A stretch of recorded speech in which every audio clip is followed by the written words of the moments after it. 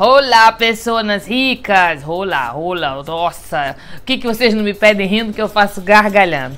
É verdade. Voltei de férias, né, do Peru. Lá pelo meu Instagram, todo mundo me pediu para eu fazer um vídeo falando quanto custa vir para cá pro Peru.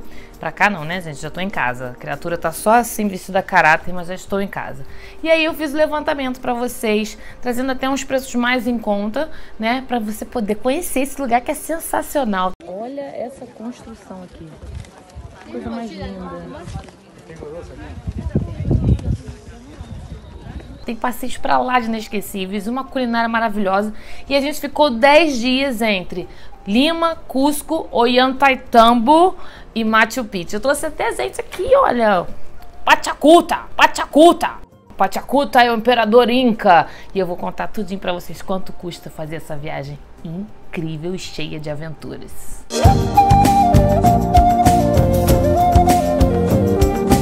Gente, eu sempre puxo uma sardinha pro assunto viajar aqui no canal. Não tem jeito, porque essa é uma das minhas maiores paixões depois das finanças. E com certeza, se eu não falasse aqui de finanças, gente, pra vocês, com certeza eu faria, sabe o quê? Falaria sobre viagens e seria o meu YouTube. Eu só não sei como é que eu pagaria tantas viagens assim. É, realmente. Mas enfim, né? Viajar, você gasta dinheiro, mas você volta mais rico, rico de conhecimento. Então tem tudo a ver aqui com o canal. E aí para você poder ver com maiores detalhes, tá lá no meu Instagram, nos destaques, os meus stories falando sobre cada lugar. Eu marco os hotéis, os restaurantes que a gente foi, porque esse vídeo aqui, ele é específico para eu falar para vocês mais sobre quanto custa essa viagem aí. Beleza? Já de cara eu posso te falar reserva uma graninha para comida, gente, porque a bicha aqui só não voltou uns 10 quilos a mais porque a gente anda muito lá no Peru. E a comida é divina, vale a pena conhecer. E você precisa conhecer a cultura do lugar, então para isso eu fiz um levantamento exatamente para você gastar um pouco menos aproveitar bem o passeio. E só não esquece de dar primeiro uma voada aqui no canal, se inscrever, né, para você poder receber sempre conteúdos que saem toda semana.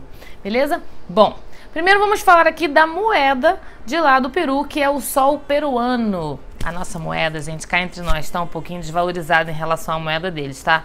Um sol dá R$ 1,19. Agora, com um dólar, você consegue trocar a moeda pela cotação de 3,30 soles. A nossa viagem, ela durou 10 dias, como eu falei, entre Lima, Cusco e Machu Picchu. E aí, vamos compartilhar aqui primeiro o quê? quanto custa passagens, hospedagens, né? E falando até um budget lá para você poder curtir lá os 10 dias. Ó, sou eu que faço todo o planejamento da viagem. Então, se você quiser saber melhor como planejar, dá uma olhadinha aqui nesse vídeo que lá eu te ensino os caminhozinhos para você minimizar ao máximo o seu custo. Hoje a gente vai falar especificamente aqui no vídeo quanto custa ir para esses lugares. Então, primeira coisa que você precisa para ir para lá, passagem de avião, né? Hoje você consegue uma passagem para Lima, por exemplo, ida e volta, pelo preço de R$ 1.700. Aí você, como no nosso caso aqui, nós fizemos Lima-Cusco. Então você vai pegar uma passagem ida e volta Lima-Cusco, que está custando hoje em torno de 870 reais. Agora, você tem que levar em consideração o seguinte: eu peguei aqui preços passagens, né? A partir de. Tem uma variação muito grande em relação ao que? A data que você vai viajar, tem diferença também na quantidade de horas voos, por exemplo. Você, você, nós fizemos em torno de 4 a 5 horas de voo daqui para Lima. Tem voos de 8, 10, 12 horas que ficam o que? Mais barato. Então aí você tem que ver. Se você não se importa e for reduzir bastante, você consegue sim passagens mais em conta. Pegou seu avião, já chegou lá e agora o que, que você precisa? né, a sua estadia. A gente faz tudo antes, não, assim, eu, eu sou meio suspeita, eu não gosto dessa coisa de chegar lá, eu vou, não, né, pesquisa antes. Tem aí vários sites para você pesquisar, ver fotos, ver comentários. E aí tem, assim, eu utilizei aqui como base o hotel três estrelas, que tem um certo conforto. Daí você consegue diários, por exemplo, em Lima a partir de 130 e lá em Cusco a partir de 80 reais. Ah, Alessandra, mas não tem coisa mais em conta? Tem, tem muita coisa. Por exemplo, quem não, não se importa de ficar em hostel, sai muito mais barato.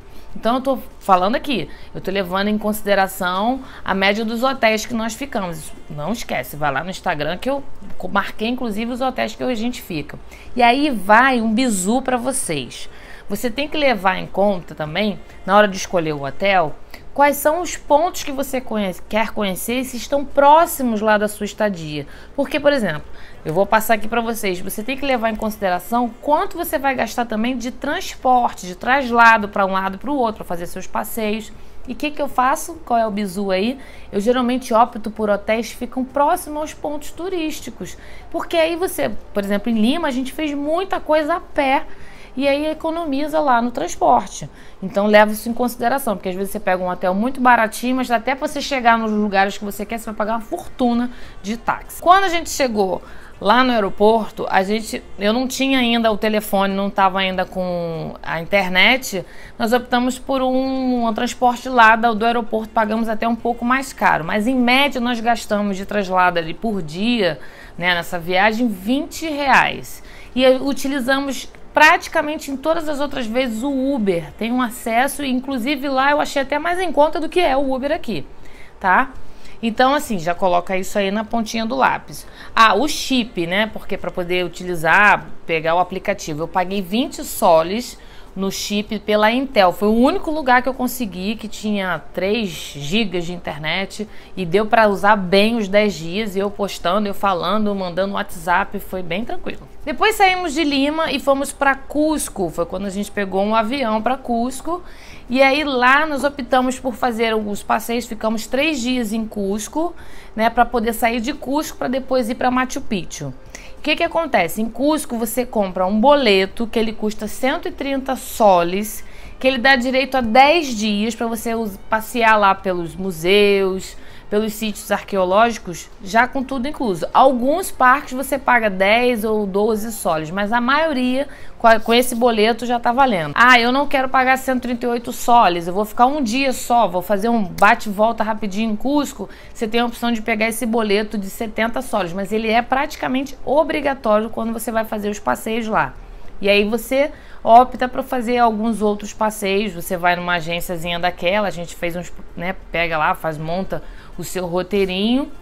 E aí tem até passeio, gente, que a gente pagou tipo 50 soles por pessoa que já tinha até almoço incluso. Foi muito legal. Aí depois de Cusco, nós fomos para Águas Calientes, gente. Aí eu quis fazer uma coisa, né, uma coisa mais legal, mais rebuscada. A gente foi, sabe de quê? De trem. E é simplesmente lindo a paisagem, né? Porque você fica em Águas Calientes, é um vilarejo próximo a Machu Picchu. E aí você pega um trem, você vai pegar de Cusco até Ollantaytambo, uma que é um vilarejo próximo, né, que é onde sai o trem.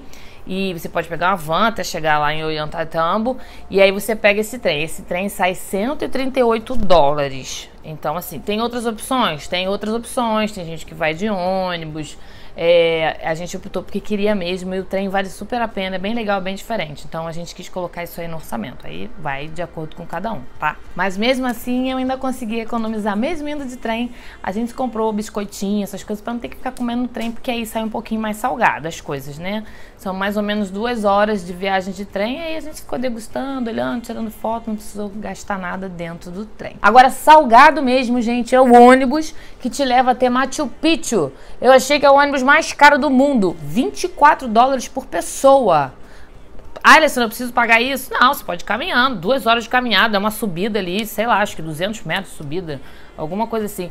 Mas, sinceramente, eu acho que vendo a caminhada e a altura do negócio, né, chegando lá em Machu Picchu, acho até que esse ônibus nem sai tão caro assim, né? Fazer o quê? Aí você chegou lá em Machu Picchu, né? Você já tem que estar tá com seu ingresso na mão. É porque tem que comprar antecipado, tem que reservar, tem que ver a data bonitinho. Vou colocar aqui o site que você compra, tá? E ele custa 158 soles por pessoa. E você só entra acompanhado de um guia, que pra gente custou 20 soles por pessoa. O passeio por Machu Picchu é realmente lindo, é uma energia.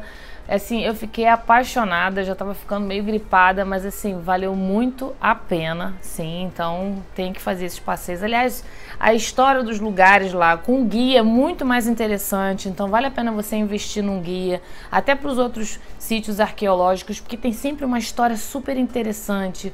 Os museus, até museu, teve um museu em Lima, inclusive, que a gente optou por pegar um guia, porque às vezes você entra no museu, você vê aqueles objetos, mas você não conhece a história, e lê ali um negocinho.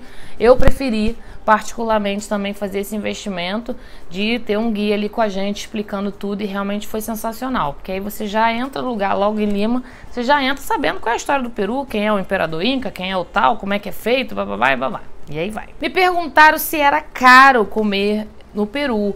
Então, a média de alimentação lá é de 20 a 30 soles. Então, nós tivemos em alguns restaurantes mais né, requintados para conhecer a culinária, mas também, no geral, pegamos nessa faixa de preço e lá você come muito bem, principalmente em Lima, como eu falei. Agora que você já tem uma ideia de quanto custa, já colocou aí na calculadora, viajar para o Peru é se planejar direitinho, arruma as malas e vai pleno, porque as ofertas de comprinhas lá acontecem o tempo todo. Olha para um lado e alguém te oferecendo uma coisa, olha para o outro, então, então esteja preparado, né? Você que é um habitante da riqueza, se ainda não é, já se prepara, não amolece em meio a tantas tentações. Quer trazer umas lembrancinhas? Faz uma listinha, pesquisa muito, porque lá você vai ver mais do mesmo o tempo todo. Então não sai na empolgação comprando tudo no início não, porque senão no final da viagem você não tem mais nada tá? Se você gostou do vídeo, dá um joinha aqui ou me, me fala lá aqui nos comentários se você já foi pro Peru, o que, que você fez de alternativa, até para poder contribuir mais aqui com os amiguinhos.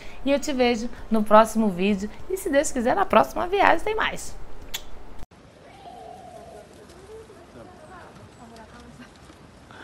Cadê?